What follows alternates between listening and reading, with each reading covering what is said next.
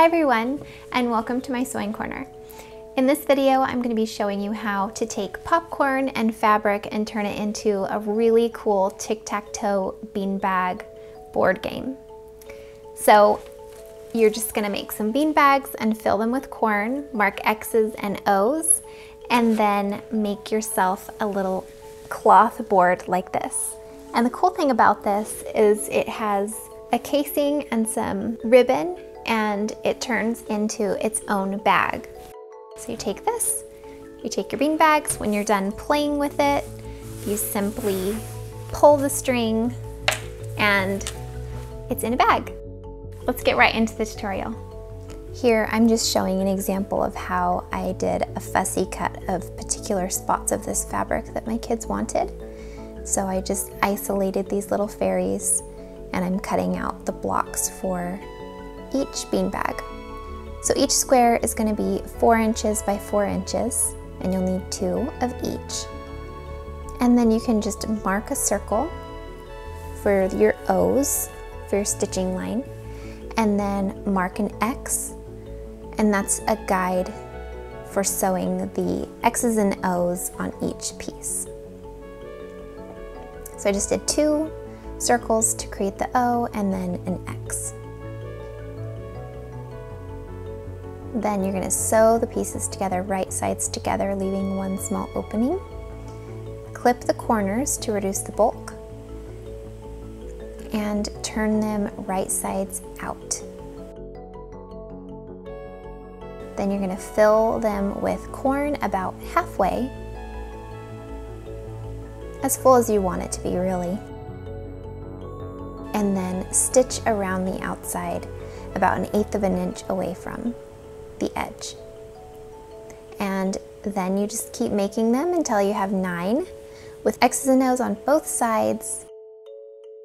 And then you can create the board by cutting either two circles of plain fabric or you can do this design for the tic-tac-toe which is just nine squares sewn together and four edge pieces sewn on the outside.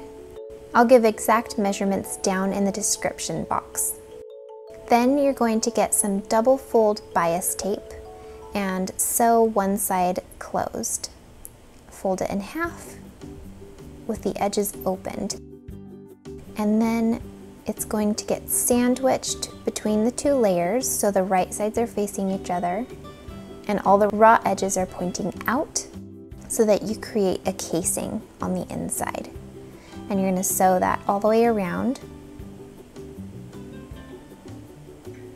and then pull this right side facing out.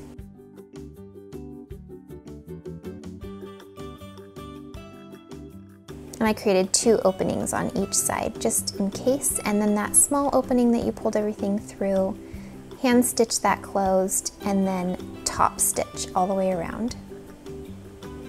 Then I just stitched down around the square of the board just to hold it together right in the fold or the crease where the two fabrics meet.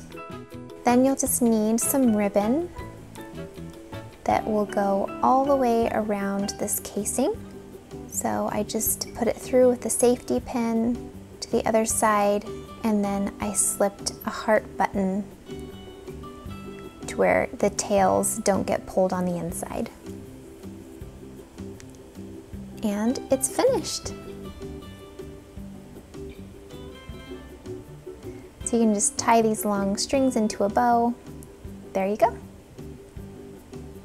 And if you use a silky ribbon, this really opens up pretty easily. All right, there it is. If you liked this tutorial, give it a thumbs up. I'd really appreciate it. You can let me know down in the comments section if you made this and I would love to see your projects. You can go over to Paige Handmade on Instagram to share with me your projects, whether you make just the bean bags or the full tic-tac-toe. I would love to see what you make. And also you can click subscribe and the bell alert to be notified anytime that I post a video in the future. As always, until next time, go get creative and make something that you love and that your kids will love. Bye!